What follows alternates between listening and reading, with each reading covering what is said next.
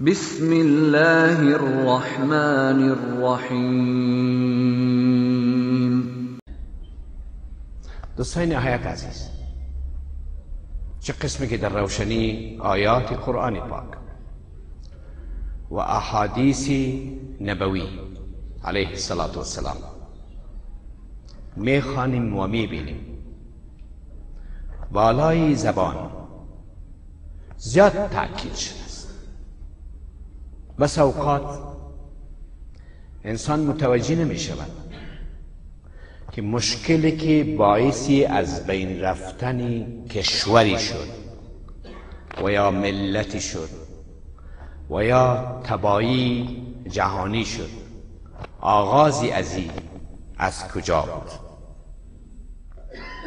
اینجاست که در قرآن پاک پیرامونی تحقیق و بررسی کاملی خبری که در دسترس انسان قرار می‌گیرد. زیاد تاکید شده است.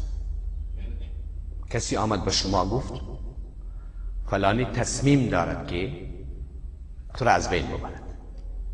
کمین گرفته است و یا در کمین می باشد گفتی من فلانی را از بین می‌برم. تو چی عکس عمل نشون کسی آمد به تو گفت دور از قداست مجلس که خان خانم تو بیراست. این خانم باید تو دور بکن از عصمت زوجیت و از نکاح خود. چه تصمیم باید بگیری؟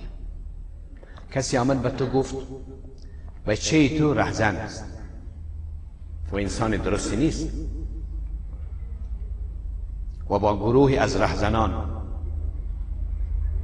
استاد شده و راه مردم قطع می‌کنه یا سرقت می‌کنه یا دوست به ارتکاب دیگر جرایم می‌زنه. چو باید تو باید چه تصمیم بگیری؟ به هر حال اینجاست که این کارخانه تولید در کنترل کامل انسان قرار داده شده است. از هر طرفی وقتی که اطلاع در دسترس تو قرار می‌گیره او اطلاع باید تحقیق شد اطلاع توسط زبان تحقیق شد به همین لحاظ در قانون جزای اسلام وقتی که یک انسان متهم به قاتل بودن می شود